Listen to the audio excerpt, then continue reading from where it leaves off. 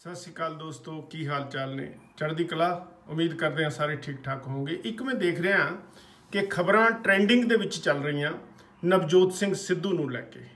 ਇਹ ਜੀ ਕੱਲ ਮੀਟਿੰਗ ਹੋਗੀ ਪਰਸੋਂ ਮੀਟਿੰਗ ਹੋਗੀ ਮੈਨੂੰ ਇਹ ਨਹੀਂ ਸਮਝ ਆਉਂਦੀ ਕਿ ਕਾਂਗਰਸ ਦੇ ਮੰਤਰੀਆਂ ਨੇ ਜਦੋਂ ਨਵਜੋਤ ਸਿੰਘ ਸਿੱਧੂ ਦੀ ਬੇਇੱਜ਼ਤੀ ਕਰਕੇ ਉਹਨੂੰ ਕੱਢਿਆ ਗਿਆ, ਤਾਂ ਉਦੋਂ ਉਹ ਬੋਲੇ ਨਹੀਂ। ਚੁੱਪ ਕਰਕੇ ਨਾ ਨਵਜੋਤ ਸਿੰਘ ਸਿੱਧੂ ਜ਼ਿਆਦਾ ਬੋਲਿਆ ਤੇ ਨਾ ਇਹ ਜਿਹੜੇ ਉਹਦੇ ਚਹੇਤੇ ਸੀ, ਜਿਹੜੇ ਕਾਂਗਰਸ ਦੇ ਮੌਜੂਦਾ ਮੰਤਰੀ ਨੇ, ਤਾਂ ਉਹ ਬੋਲੇ, ਹੁਣ ਇਹ ਟਾਰਾ ਮਾਰਨ ਲੱਗ ਗਏ, ਜਿੱਦਾਂ ਟਟੀਰੀਆਂ ਨਹੀਂ ਕਲਕੀਰੀਆਂ ਮਾਰਦੀਆਂ ਹੁੰਦੀਆਂ, ਜਦੋਂ ਕੋਈ ਟਰੈਕਟਰ ਵਾਲਾ ਬਾਉਣ ਵਾਸਤੇ ਬੜੇ, ਤੇ ਉਹਨਾਂ ਨੂੰ ਇਹ ਹੁੰਦਾ ਕਿ ਮੇਰੇ ਅੰਡਿਆਂ ਦੇ ਉੱਤੇ ਨਾ ਕੋਈ ਚੜ ਜਵੇ।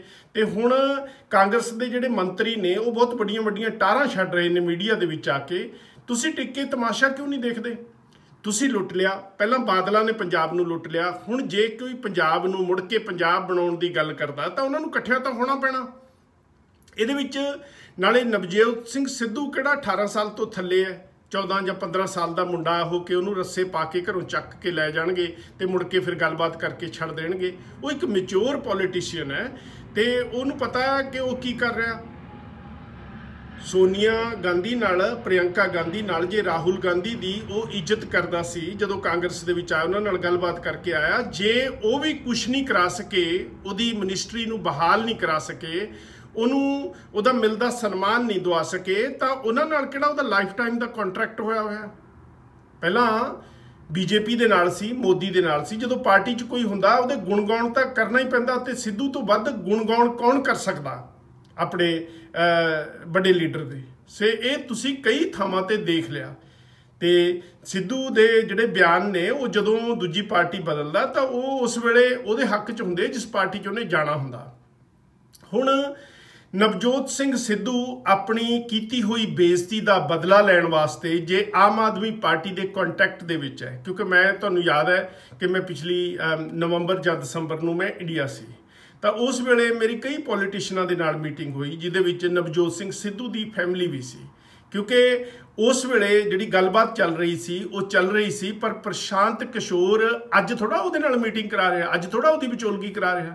ਉਹਨੂੰ ਤਾਂ 7-8 ਮਹੀਨੇ ਹੋ ਗਏ ਇਸ ਕੰਮ ਤੇ ਲੱਗੇ ਹੋਏ ਨੂੰ।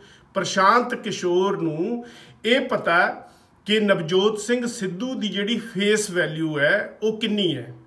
ਜਿਹੜੇ ਅੰਕੜੇ ਪ੍ਰਸ਼ਾਂਤ ਕਿਸ਼ੋਰ ਕਿਸੇ ਸਟੇਟ ਬਾਰੇ ਲਾ ਸਕਦਾ ਹੈ, ਉਹ ਸ਼ਾਇਦ ਹੋਰ ਕੋਈ ਵੀ ਪੋਲੀਟੀਕਲ ਮਾਹਰ ਨਹੀਂ ਲਾ ਸਕਦਾ। ਸੋ ਆਮ ਆਦਮੀ ਪਾਰਟੀ ਜਿਹੜੀ ਬਹੁਤ ਇਮਾਨਦਾਰੀ ਤੇ ਗੁੱਡ ਛਵੀ ਵਾਲੀ ਪਾਰਟੀ ਹੈ, ਜੇ ਇਹਦੇ ਵਿੱਚ ਕੋਈ ਚੰਗਾ ਬੰਦਾ ਇੱਕ ਜਾਂ ਦੋ ਜਾਂ 10 ਆਉਂਦੇ ਹੈ, ਤਾਂ ਇਹ ਆਮ ਆਦਮੀ ਪਾਰਟੀ ਬਹੁਤ ਜ਼ਿਆਦਾ ਭਾਰੂ ਪੈਂਦੀ ਹੈ ਕਾਂਗਰਸ ਤੇ ਕਾਲੀਆਂ ਤੇ ਆਉਣ ਵਾਲੇ ਸਮੇਂ ਦੇ ਵਿੱਚ। ਇਹਨੂੰ ਜ਼ਰੂਰ ਓਨੈਸਟ ਤੇ ਵਧੀਆ ਚਿਹਰਿਆਂ ਦੀ ਲੋੜ ਹੈ। ਤੇ ਇਹਦੇ ਵਿੱਚ ਮਾੜੀ ਵੀ ਗੱਲ ਵੀ ਕੀ ਹੈ? ਜੇ ਨਵਜੋਤ ਸਿੰਘ ਸਿੱਧੂ ਦੀਆਂ ਮੀਟਿੰਗਾਂ ਪਿਛਲੇ 6 ਮਹੀਨਿਆਂ ਦੇ ਵਿੱਚ ਤਿੰਨ ਮੀਟਿੰਗਾਂ ਹੋ ਲੀਆਂ ਇੱਕ ਮੀਟਿੰਗ ਸੀ ਜਿਹੜੀ ਅਸਲ 'ਚ ਬਿਲਕੁਲ ਇੱਧਰ ਜਾਂ ਉੱਧਰ ਵਾਲੀ ਉਹ ਨਹੀਂ ਸੀ ਹੋ ਸਕੀ ਕਿਸੇ ਕਾਰਨ ਕਰਕੇ। ਉਦੋਂ ਬਾਅਦ ਫਿਰ ਲੋਕਡਾਊਨ ਆ ਗਿਆ, ਫਿਰ ਕਰਫਿਊ ਲੱਗ ਗਿਆ, ਬਹੁਤ ਕੁਝ ਹੋ ਗਿਆ ਪੰਜਾਬ ਦੇ ਵਿੱਚ। ਜੇ ਹੁਣ ਦੁਬਾਰਾ ਮੁੜ ਕੇ ਗੱਲਬਾਤ ਪ੍ਰਸ਼ਾਂਤ ਕਿਸ਼ੋਰ ਨੇ ਨਵਜੋਤ ਸਿੱਧੂ ਨਾਲ ਫੇਰ ਕੀਤੀ ਹੈ ਤੇ ਟੁੱਟੀਆਂ ਹੋਈਆਂ ਗੰਢਣ ਦੀ ਗੱਲ ਕੀਤੀ ਹੈ, ਤਾਂ ਉਹਦੇ ਵਿੱਚ ਕਾਂਗਰਸ ਦੇ ਮੰਤਰੀਆਂ ਨੂੰ ਜਾਂ ਕਾਂਗਰਸ ਪਾਰਟੀ ਨੂੰ ਇੰਨੀ ਤਕਲੀਫ ਕਿਉਂ ਹੋਈ? ਇਹ ਤਾਂ ਉਹ ਗੱਲ ਹੋ ਗਈ ਕਿ ਕਿਸੇ ਜਾਨਵਰ ਦੇ ਬੈਠੇ ਤੇ ਕੋਈ ਬੰਦਾ ਅਚਨਚੇਤ ਕਿਸੇ ਦੀ ਪੂਛ ਤੇ ਪੈਰ ਧਰ ਕੇ ਲੰਘ ਜਾਂਦਾ, ਤਾਂ ਫਿਰ ਉਹ ਆਪਣਾ ਹੋਸ਼ ਹਵਾਸ ਜਾਨਵਰ ਗਵਾ ਬੈਂਦਾ, ਕਿ ਉਹਨੂੰ ਇਹ ਹੁੰਦਾ ਕਿ ਹੁਣ ਪਤਾ ਨਹੀਂ ਕੀ ਹੈ, ਕਿਉਂਕਿ ਤਕਲੀਫ ਵੀ ਬਹੁਤ ਹੁੰਦੀ ਹੈ। ਸੋ ਜਦੋਂ ਤੁਸੀਂ ਇੱਕ ਮੰਤਰੀ ਨੂੰ ਮੰਤਰੀ ਦੀ ਇੱਜ਼ਤ ਨਹੀਂ ਦਿੱਤੀ, ਜਦੋਂ ਕੰਮ ਕਰਨ ਲੱਗਦਾ, ਉਹਦੇ ਰਸਤੇ ਦੇ ਵਿੱਚ ਰੋੜਾ ਬਣੇ, ਕੋਈ ਕੰਮ ਉਹਦਾ ਸਿੱਧਾ ਨਹੀਂ ਹੋਣ ਦਿੱਤਾ।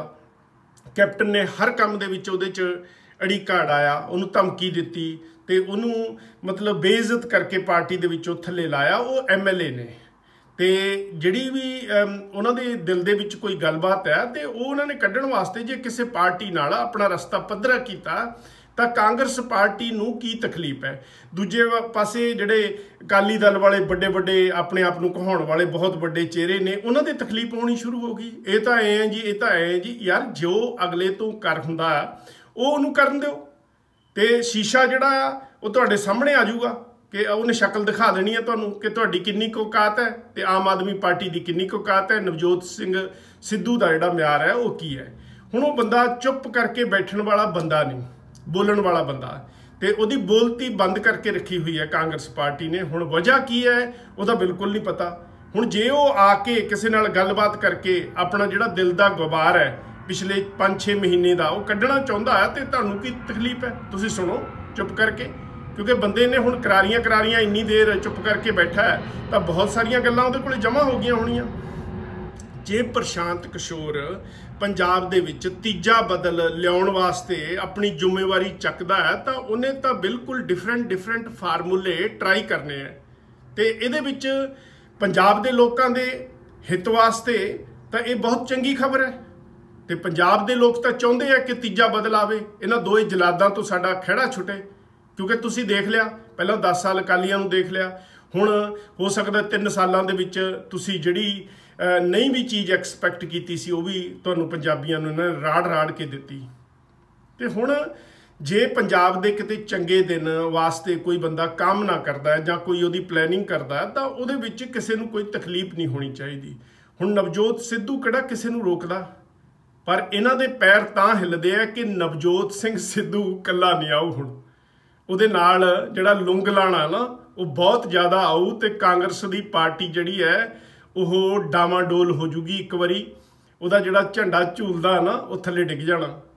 ਤੇ ਇਸ ਕਰਕੇ ਹੁਣ ਸਾਰੇ ਚੀਕਾਂ ਮਾਰਦੇ ਆ। ਜੇ ਝੰਡਾ ਥੱਲੇ ਡਿੱਗਣਾ, ਕਾਂਗਰਸ ਪਾਰਟੀ ਨੇ ਡਿੱਗਣਾ, ਤਾਂ ਮੰਤਰੀਆਂ ਦਾ ਜਿਹੜਾ ਹਰ ਰੋਜ਼ ਖਜ਼ਾਨੇ ਦੇ ਵਿੱਚ ਲੱਖਾਂ ਰੁਪਈਆ ਰਿਸ਼ਵਤ ਦਾ ਜਮ੍ਹਾਂ ਹੁੰਦਾ, ਉਹ ਜਾਊਗਾ। ਇਸ ਕਰਕੇ ਇਹਨਾਂ ਦੀਆਂ ਚੀਕਾਂ ਵੱਜਦੀਆਂ। ਅੱਜ ਮੈਂ ਦੇਖ ਰਿਹਾ ਸੀ, ਇੱਕ ਮੰਤਰੀ ਤਾਂ ਜਿਵੇਂ ਸੂਈ ਹੋਈ ਕੁੱਤੀ ਦੇ ਕਤੂਰਿਆਂ ਨੂੰ ਛੇੜਦੇ ਆ ਨਾ, ਤਾਂ ਚਾਰੇ ਪੈਰ ਚੱਕ ਕੇ ਪੈਂਦੀ ਹੈ ਤਾਂ ਇਸ ਤਰ੍ਹਾਂ ਭੱਜ-ਭੱਜ ਕੇ ਪੈ ਰਿਹਾ। ਪੱਤਰਕਾਰਾਂ ਤੇ ਵੀ ਟੈਲੀਵਿਜ਼ਨ ਸਟੇਸ਼ਨਾਂ ਤੇ ਵੀ ਜਿਹੜੇ ਖਬਰ ਦੇ ਰਹੇ ਨੇ, ਇਹ ਗੱਲ ਮਿੱਤਰੋ ਅੱਜ ਦੀ ਨਹੀਂ ਚੱਲ ਰਹੀ।